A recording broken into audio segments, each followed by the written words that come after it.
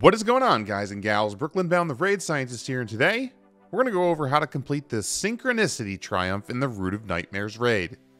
This is a static encounter triumph that takes place on the Nezarec encounter and is required to obtain the Root of Nightmares raid title and seal, Dream Warrior.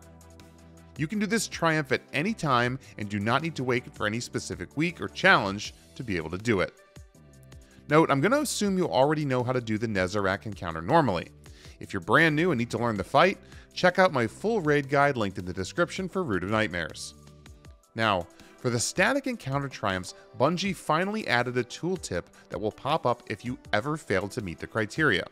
So when going for the Synchronicity Triumph, be on the lookout for the tooltip on the screen that says Encounter Triumph Failed, which indicate you didn't do it correctly and will need to wipe and restart.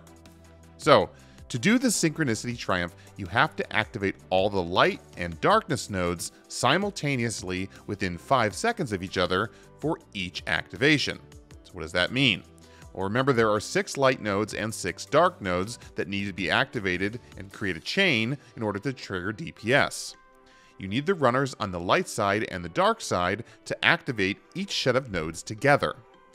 You can use either one runner on each side or two runners on each side, it doesn't matter.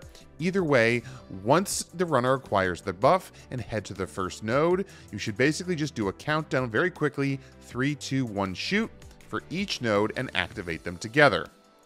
We usually designate one of the runners to always do the countdown, and then the other runner to just say they are ready. It's important to note that the Triumph is only tied to the nodes that you shoot with the buff.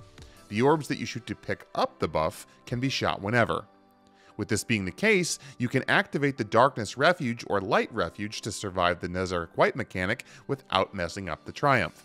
To do this, it's best to just do three nodes on each side together, then go activate the Refuge buff to stay alive, and then go back and finish the last three nodes together. Repeat this process, activating the second, third, fourth, fifth, and sixth nodes on both sides, light and dark, at the same time of each other until both sequences are completed and you can finally damage the boss. DPS the boss as normal, and then repeat as many times as it takes to kill Nezarec.